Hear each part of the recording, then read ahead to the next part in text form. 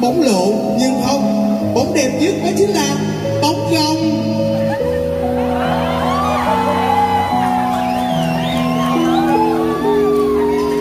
Ngày xưa lúc thơ bé, ta thường nghe mưa hát và khi cơn mưa như nặng nề, là lúc bong bóng chưa tan. Mẹ bà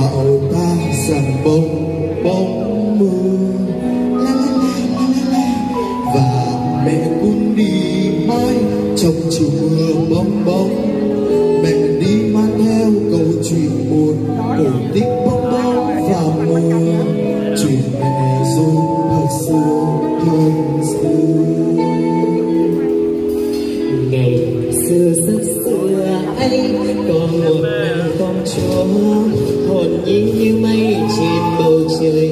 Đùa giỡn với gió và trăng từ từ gió cùng mưa hát vang nàng công chúa bồng bóng yêu chàng người lời đàn. Dường như bên nhau không giận hờn lại có những lúc mơ vô tình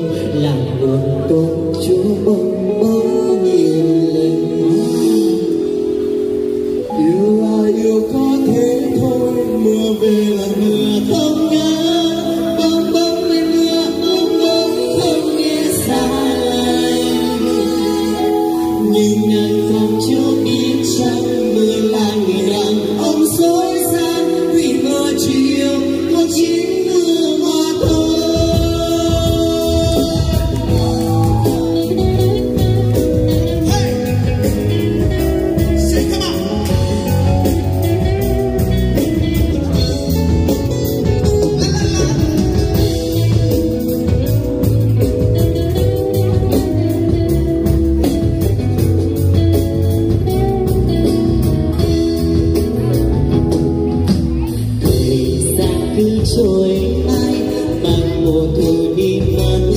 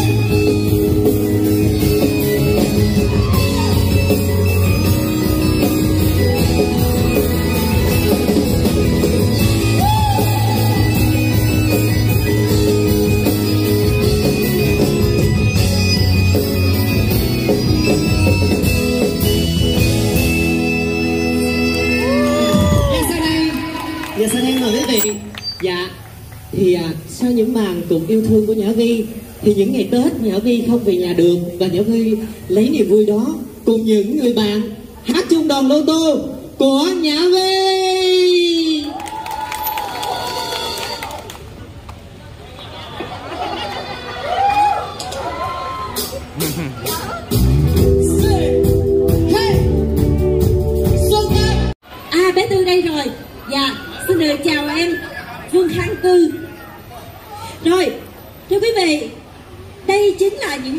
Đã cùng với Nhã Vi Trong suốt những năm gắn bó với sân khấu của Sài Gòn Lô Tô à, Của Sài Gòn Tân Thời đoàn Lô Tô của chúng ta. Và thưa quý vị Đặc biệt hơn là các bạn đã thường xuyên phải xa nhà Nhất là vào những ngày Tết là ngày mà chúng ta thường hay quay quần xung vầy cùng với nhau. Vậy thì à, hôm nay xin hỏi bác tư trước bé tư mở đầu với lại nhã vi với ca khúc công chúa bong bóng rất là dễ thương. Nhưng mà hôm nay nhân dịp mini show sắc màu ức của nhã vi thì à, bé tư có điều gì hay có kỷ niệm nào đáng nhớ nhất với nhã vi không? Kỷ niệm mà đáng nhớ với chị Vi hả? Bên Ừ. cạnh chuyện hồi nãy mở cái lều cho vi ra. Dạ dạ ngoài cái sự cố đó thì ờ, nói chung là thực ra là em mới đồng hành với chị Vi đây thôi. Thì ờ, trước lúc dịch nữa là mà em có hát ở bên cung á là lúc đó là đã gặp chị Vi nè đồng hành ờ, khoảng chắc cỡ hơn hơn một năm mà chị. Hơn một năm. Thì ờ, đến thời điểm hiện tại thì hai em mới được mới được ờ, gặp lại đoàn mới được diễn lại chung với nhau. Thì nói chung là có kỷ niệm thì chắc là thực ra là chị em mình chưa có kỷ niệm gì nó sâu sắc đâu hả chị? Vâng thiệt thực sự là hai đứa chưa chưa có kỷ niệm gì sâu sắc hết. Nhưng mà hai đứa có hứa hẹn với nhau là sau này sẽ làm ờ, xui với nhau. Hứa hẹn làm xui luôn hả? Anh xui